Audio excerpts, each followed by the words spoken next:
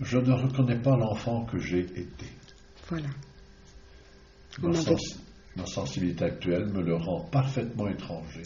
Oui. Je suis faite de lui et pourtant, rien ne me permet de m'en sentir proche. Tout à fait. On est vra- vraiment dans deux univers, deux planètes. Oui. Et cet enfant qui était moi, qui ne l'était plus, c'est vraiment l'adulte qui, a- qui l'a poussé à se modifier.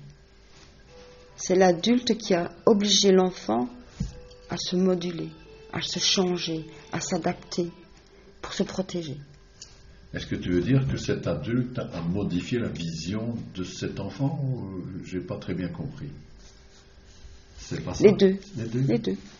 Les deux, Parce que dans ton livre, euh, cet enfant que tu as été, tu le décris quand même euh, avec beaucoup de précision, de Bien clarté, sûr. d'intelligence. Parce que je m'en souviens quand même. Je me rappelle de qui j'étais, de ce que j'ai fait, de ce que- de ce qu'on m'a fait.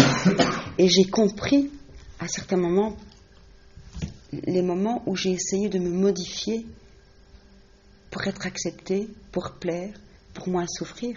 J'ai j'ai compris tout ce que j'avais fait étant enfant. Parce qu'en écrivant jour après jour, je me suis rappelé de certains faits.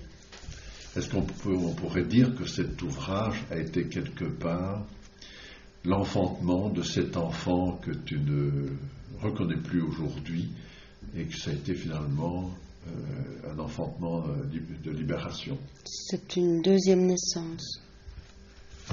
C'est la, venue au monde, c'est le retour à l'enfance de ma naissance.